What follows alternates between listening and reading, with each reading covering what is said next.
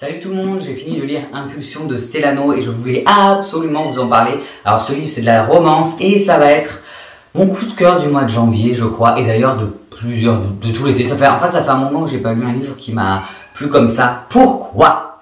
Alors, c'est de la romance, certes, normalement c'est pas forcément ce que je lis le plus, mais euh, il y a beaucoup de psychologie dedans, les personnages sont euh, très travaillé, je trouve. En fait, on va suivre Lena, une fille, et on va suivre tout son, toute son évolution et aussi les personnes de son entourage.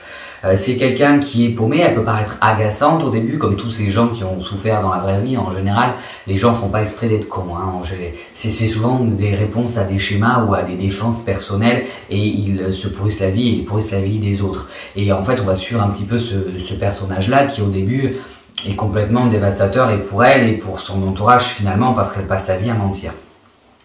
Je vais pas trop vous en dire, mais je, vous dis quand même le début. Donc c'est, elle est dans la rue, elle suit un mec, elle le trouve mignon, elle, s'en fout de tout, donc euh, elle le trouve beau. Bon, elle y va, elle est assez insouciante, euh, elle fait quelque chose parce que ça l'intéresse, sans trop se, faire attention si ça fait du mal aux autres ou pas. Et elle se retrouve dans un groupe de paroles dans lequel euh, ben, elle se met à mentir en fait pour justifier sa présence.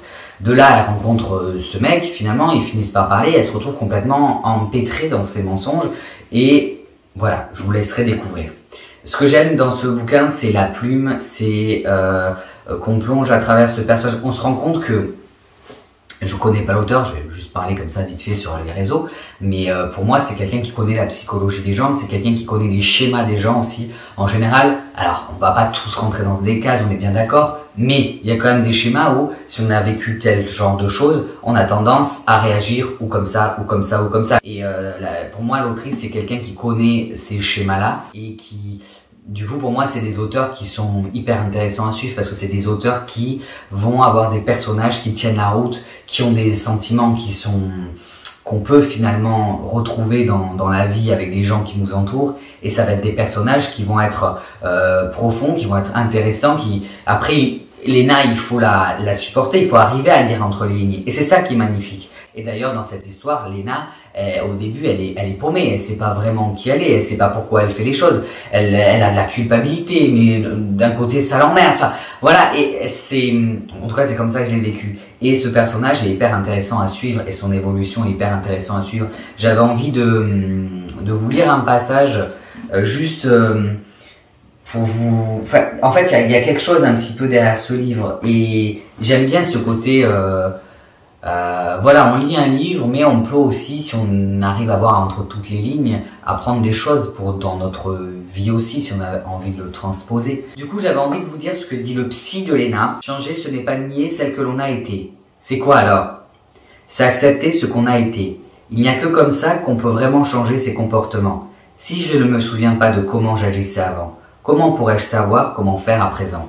Et je trouve que c'est assez vrai. Il y a des personnes, alors déjà des fois c'est parce que c'est dur à, revenir, quand on a fait des choses qui euh, nous donnent un peu euh, un sentiment de honte ou de malaise ou, euh, ou certaines situations, en fait, si jamais on ne va pas les nettoyer, qu'on met un tapis dessus, la poussière elle existe toujours sur le tapis.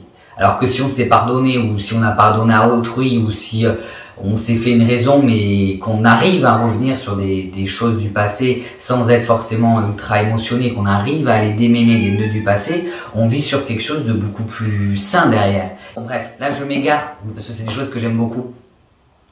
En tout cas, du coup, c'est normal que j'ai beaucoup aimé ce livre. En tout cas, euh, voilà, si vous avez envie de lire une romance dans laquelle euh, les personnages sont attachants, dans laquelle, ah, il y a des scènes épicées. D'ailleurs, Là-dedans, vous savez, souvent, il y a plein de bouquins avec des, des scènes un peu où les discours sont, mais d'un, enfin, vous les lisez, vous avez des ex, ces trucs trop clichés tout. Là, non, c'est tout naturel, en fait, c'est, euh, ça, ça fait pas euh, gnangnan ou, euh, ou genre, mais qu'est-ce que ça sort d'où ce truc?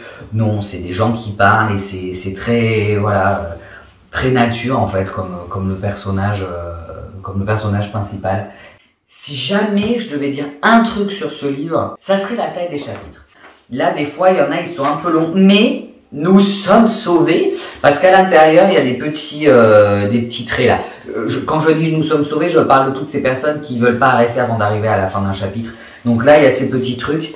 Je perds le marque-page. Là, il y a ces petits trucs et euh, du coup, bah, ben on, peut s'arrêter si on est un psychopathe du chapitre, on arrive quand même à trouver un moment, parce que c'est vrai qu'il y en a, il y en a qui sont un peu longs, c'est des fois le soir, on est là, j'en suis un peu fatigué, je ne m'arrêterai pas, mais si on arrive à trouver, euh, c'est vraiment juste pour dire un truc et c'est vraiment un truc qui sert à rien parce que c'est, enfin, voilà.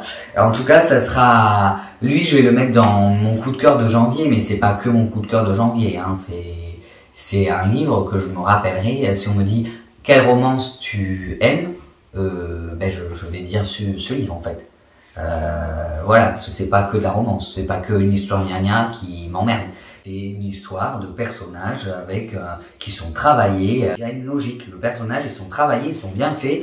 Et c'est pas des trucs. Euh, je trouve qu'il y a pas mal de livres où les personnages, d'un coup, ils font un truc. On est là, mais pourquoi ils font ça? Ça colle pas avec leur personnalité ou pourquoi? Là, non, tout est bien ficelé. Même la psychologie des amis, ils ont chaque ami a un caractère particulier avec leur façon de faire. Il y a une vieille dame aussi qui est hyper touchante dans le bouquin. Donc, je, je vais arrêter, mais si vous cherchez une romance. Euh, tester celle-là. Voilà, je peux vous le dire. Elle est vraiment bien.